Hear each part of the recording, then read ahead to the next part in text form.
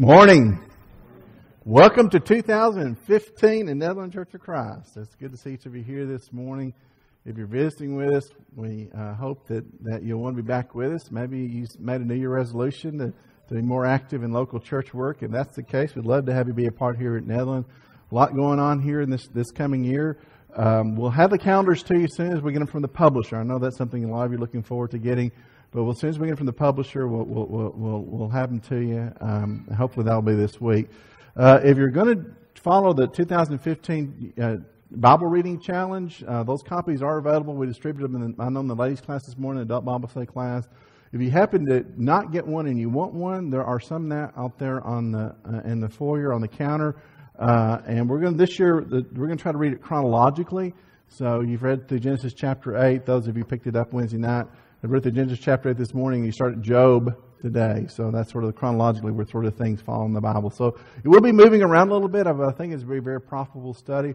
At least for right now, I may change my mind later, but at least for right now, uh, on Wednesday nights, I'll be taking sort of a survey of our readings of that week, and we'll discuss them in Wednesday night Bible study class. So, um, uh, the adult class on Wednesday night. So that's sort of the, the, plan right now. We started that last week, and and uh, so that's sort of the plan, at least for right now, to do that for Wednesday nights. On Sunday mornings, we're studying for the book of Hebrews in the adult class. and women's Bible study class, I think, are starting a new curriculum uh, soon, if not already. And so if you'd like to join that, you encourage to do so as well on Sunday mornings.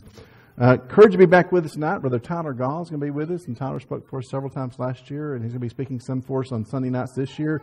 So, Brother Tyler will be with us this evening uh, and come out and have a, a good uh, support him and have a good worship service tonight for that as well.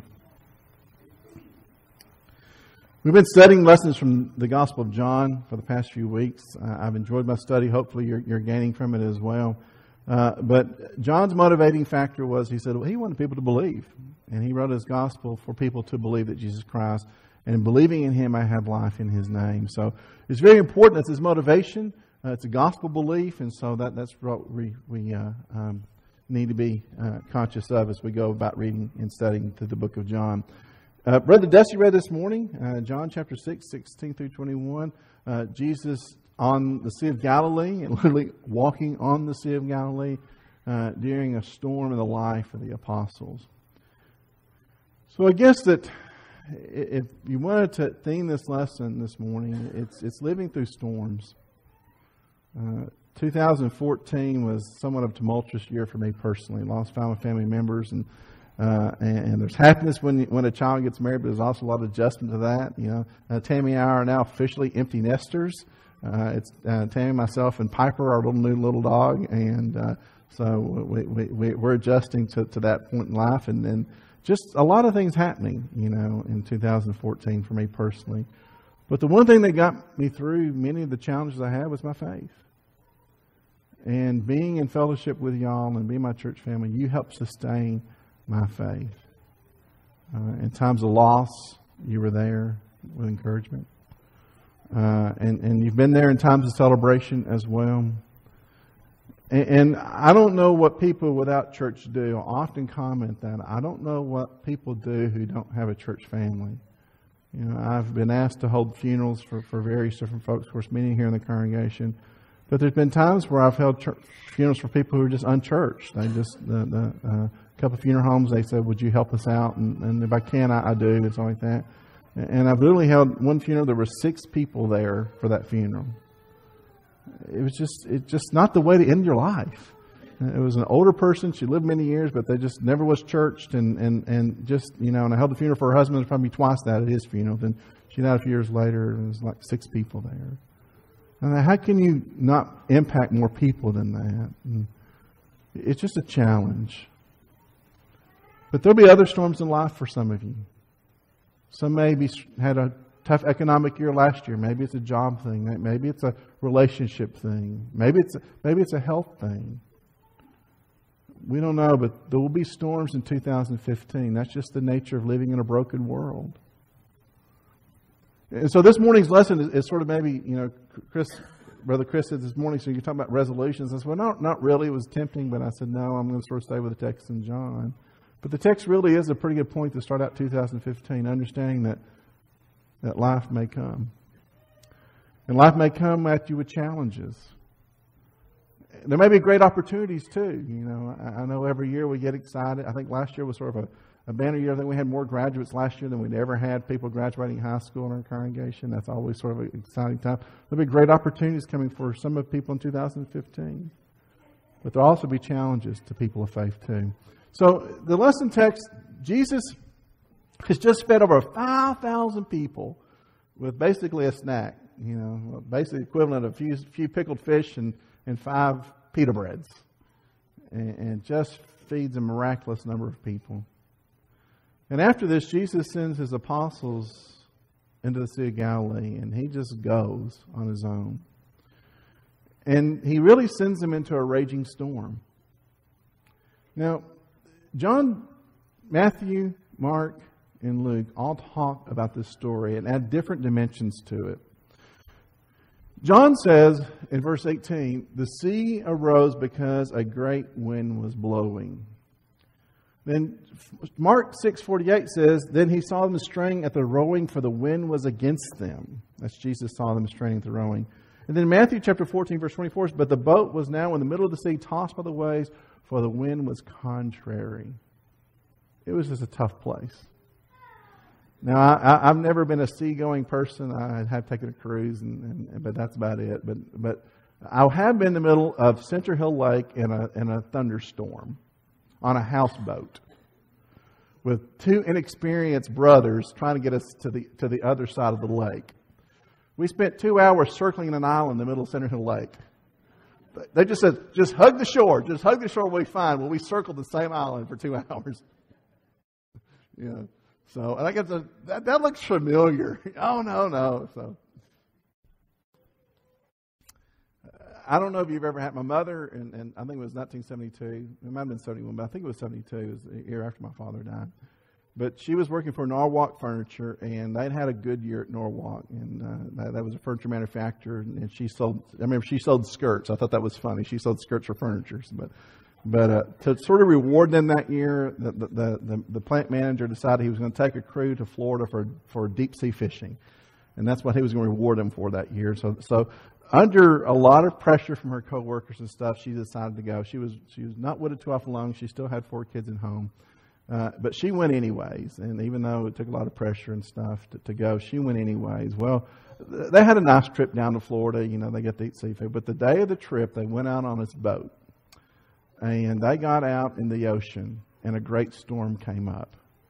And she said, People got seasick. They were crying and carrying on. She says, But I didn't get too worried. So the captain of the boat, she overheard him tell his son, I can't see anything. Get out on the bow so you can tell where we're going. And she said she was scared at that point. And she said she prayed to God. She says, "If I ever get home, I will never leave my kids alone again."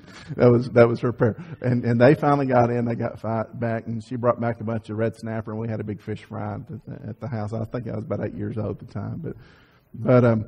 But that was her experience. But but I've never had it. Maybe some of you had been in the middle of the lake or middle of the storm. But it is a terrifying experience to be at, at the mercy of the elements. You have no control you have no power. Storms come like that. Storms come and, and, and, they take away your orientation. You don't know what is up and what is down. You don't know what is right and what is left. You don't know what is east, north, or south. You just, you just your orientation. You can't get your bearings, and you're out of control. It's interesting that, that, that, that, they only get about three or four miles into the. And Sea of Galilee is not a really large sea, it's really a freshwater lake. They only get three or four miles in, but they're going against the wind, contrary to the wind. They're rowing against the wind.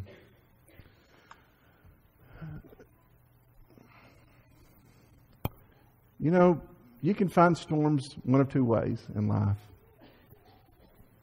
You can do like Jonah did, disobey God. and find yourself in a storm. Remember the story of Jonah? How God wanted him to go to Nineveh. He didn't want to go to Nineveh, so he got decided to go to Tarsus, and God sent a great storm. And you know the story. The ship was caught in storm. They were throwing things overboard. And he finally said, "Throw me overboard." And he said, "We're not going to do that." And he says, "That's the only way that God's going to stop this." So they throw him overboard, and God sends a great fish to swallow him. And he spends three days and three nights in the belly of the fish. So you can get into a storm that way by trying to go against God. But what's what interesting? Sometimes you can get into a storm by going with God.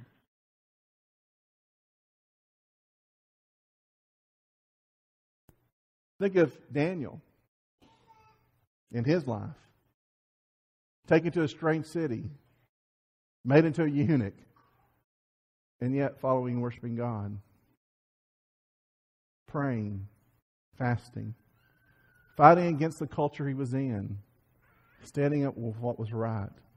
What about Moses just going to the king of Egypt and says, Let my people go? Sometimes you can, you can find a storm by trying to go away from God, but also sometimes trying to live with God and for God and following God. You're going to find a, you're going to find a storm as well. And what's interesting is that Jesus actually put them in the boat and sent them into the storm. He knew everything. And he put them in the boat, Matthew says, and he sent them away. Made his disciples get into the boat. The man says, Well, I don't know. It looks stormy on that. Get in the boat. Get in the boat. These were seafaring men. They knew, they knew how to read the signs. You know, red at night, sailors a lot. Red the morning, sailor take warning. That's the one I've always heard. I never was a sailor, but apparently if it's read in the morning, storms may be coming in. And he says, Get in the boat. You see, sometimes simply trying to live to do the right thing, you're to you're going to hit a storm. Trying to be the kid at school who obeys the teacher, who does your homework, who doesn't use coarse language, who doesn't tell dirty jokes and stories, who goes against the culture, who said, This is right and that's wrong, and I'm doing what's wrong. I'm only going to do what's right. That may put you in the face of a storm. Trying to do the right thing in a, in a, work situation or an employment situation that, that other people aren't living that same values and standard, that will put you in the face of the storm. Just saying to the culture, no, we're not living that way. Just sometimes following God's going to put you in the face of the storm. And so you're going to find yourself headlong in some contrary winds.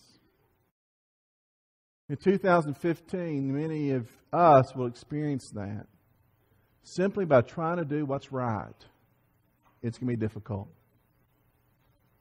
Trying to be people of value, people of character, people of standards, just trying to do what is the right thing to do is going to cause you a contrary wind. And it's going to be difficult. But you know what?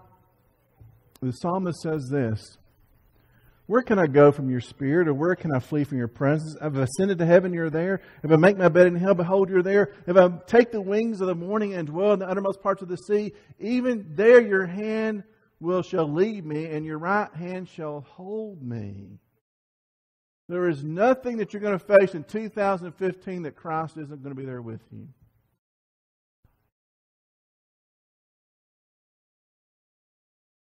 There's nothing that you're going to experience, as Brother Chris said, as a Christian, that you'll not have support. So we sang that song a few minutes ago. If the skies above you are gray, you're feeling so blue. What's that? Sing and be happy. You will never face a storm of life alone if you are with Christ. Never alone never alone.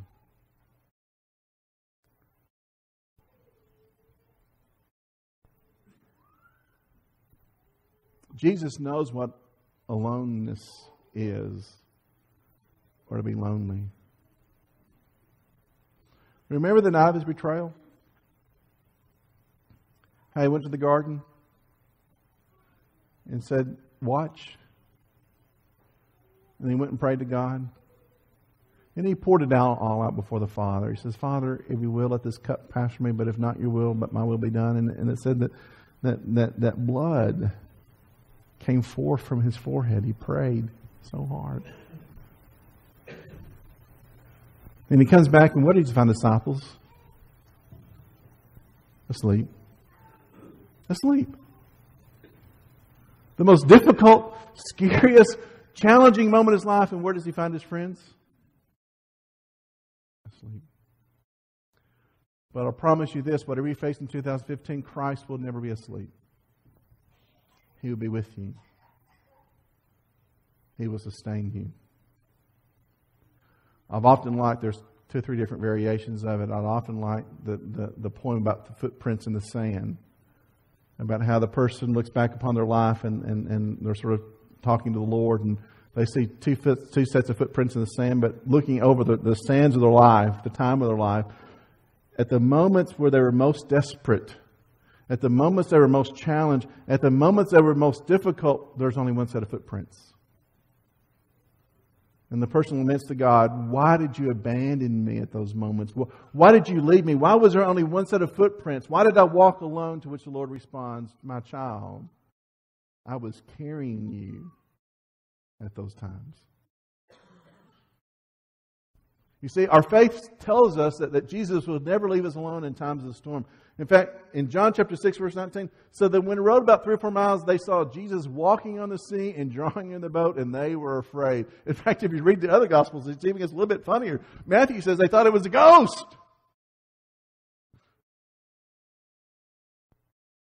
I don't know what kind of sea demon they thought was coming after them, but they were scared because people don't walk on water.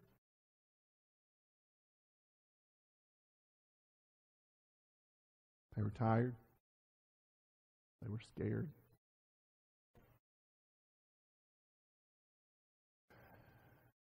I guess one of the things we need to take from this is that it's okay to be afraid.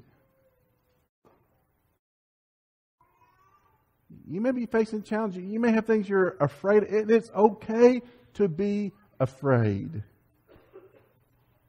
The only difference is, as Christians, you should know who to cry out to.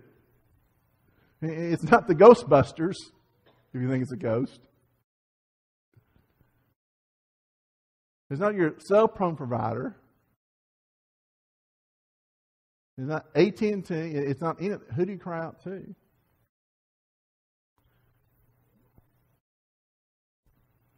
Cry out to the Lord. Jesus said to them, It is I. Do not be afraid. I don't know, maybe we can make great emphasis over things we shouldn't emphasize, but you know what? There's two things you need to be aware of here. One is Jesus says, first, who he is, then, don't be afraid. You need to know who Jesus is, and then you don't need to be afraid. Now, if you don't know who it is, you need to say afraid. It's very important just to recognize that you need to know who the Lord is, then don't be afraid. Not being afraid and then not knowing the Lord can put you in really dangerous situa- situations and circumstances. But Jesus first identifies himself it is I, do not be afraid. You need to know who your life preserver is, and then don't be afraid.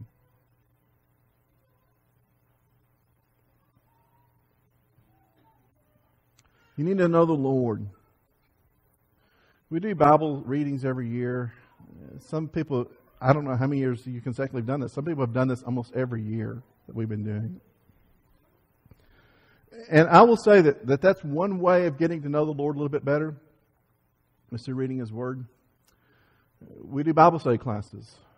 That's another way to know the Lord better, is just getting around and, and, and, and, and talking about it and studying it and opening up God's Word and, and, and, and asking some questions and sharing some experiences. Sometimes you're going to have to test your faith and commit things to God. As you plan for the year, what does your giving look like? What does your, your, your, your spiritual disciplines look like? I mean, what, what does your, your, your choices for recreation look like? Are they things that are going to help you get closer to, to other Christians or the Lord, or, or are they things going to take you away? The psalmist says in the 23rd Psalm, Yea, though walk through the valley of the shadow of death, I will fear no evil, for you are with me. Your rod and your staff, they comfort me.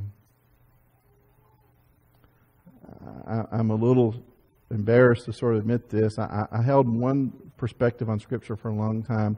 And it was in a Bible study class on a Wednesday night here that we were talking about this, talking about this concept that David was a man after God's own heart.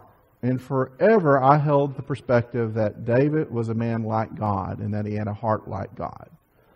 And then yet that sort of challenged me is because I looked at that in Scripture and I thought, man, David sure messed up a whole lot for someone who's supposed to be like God. And that really challenged me. And I held that view for a long time, for many, many years. And I thought when the Bible said, and David was a man after God's own heart, that, that it meant like he was made like God, after his image or whatever. And I held that for and it was on a Wednesday night Bible study class, and, and it was Sister Lori Austin that said, Well, what that passage means to me is that David was a man pursuing God's heart. Now, finally, a light bulb went off my head. That's exactly what that means. That's how David was a man after God. He was pursuing after God's heart. That's what that that made all that resolved all the other conflicts I'd created in my mind by the position I held just because another Christian said, Listen, this is what it means to me. And I'm the preacher. I'm supposed to know that stuff.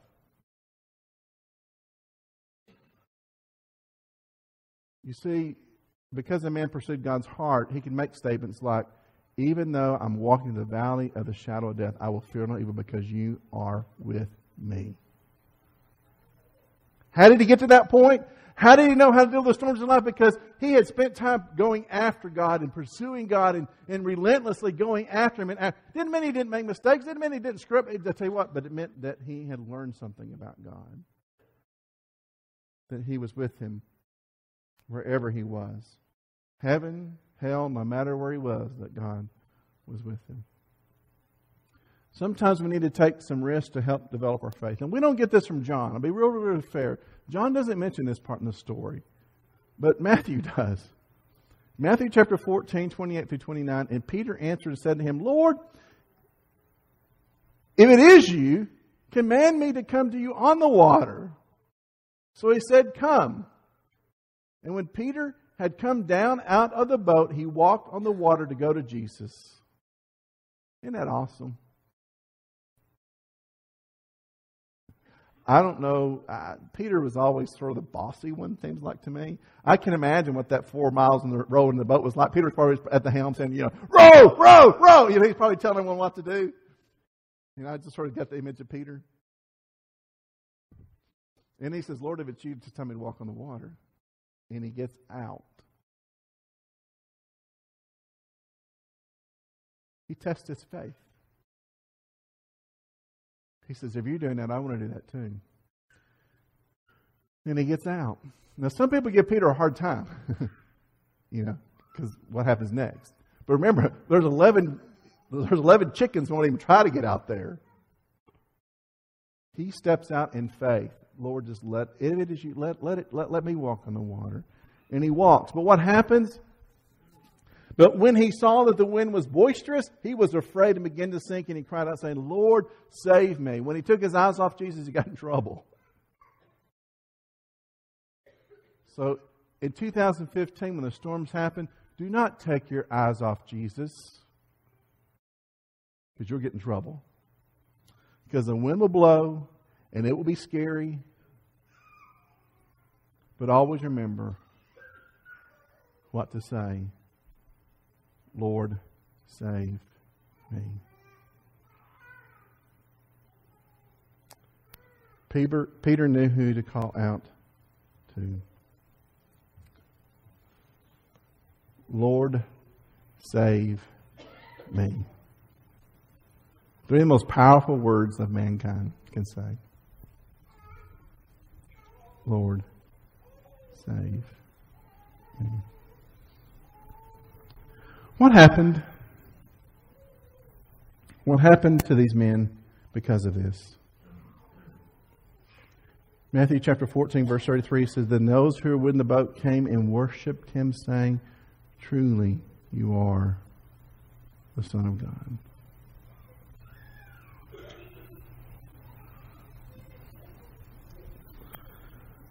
Storms should bring us to reality who's the master of the storm. And storms should move us to worship.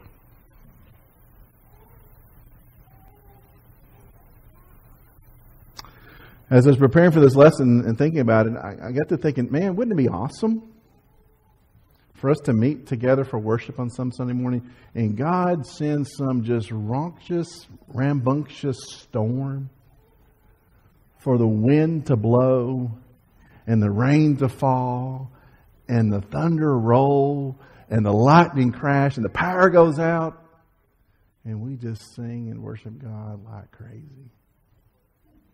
Wouldn't that be awesome? Some say, well, no, I don't, wouldn't care for that. Just the same. It's all right with you, preacher.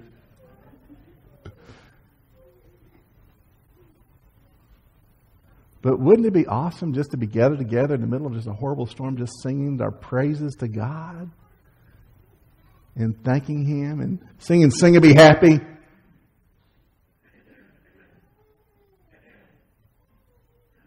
Or How Great Thou Art? O Lord my God, when I in awesome wonder consider all the world thy hands have made. I see the stars, I hear the rolling thunder.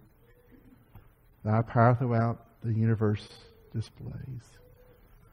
You know that song was written by a man who survived a thunderstorm in the in woods. He was in the woods and got caught in an electrical storm and thought he was going to die. When he got through the storm, he says, "Oh, I need to write this down." Then sings my soul, my Savior God to thee, how great thou art. How great thou art.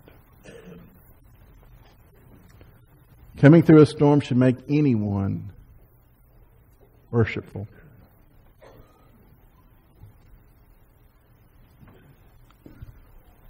I'm not trying to be prophetic. I just know there's going to be challenges for us. This is because we live in a broken world. Don't know what 2015 may bring. Hopefully, blessings to everybody. But I want to assure you that if it storms, you have people care for you. You have a family God here at Netherland that will pray with you, for you, that will be with you to assist you in those difficult times. You have a God who never forgets you, who never leaves you. He never go to sleep. He's not going to take a nap during your suffering. He's going to be there to carry you, sustain you to get you through to the other side. And at your scariest, most frightened moment, you have three of the most powerful words you can ever say in the human language. What are they? Lord, save me.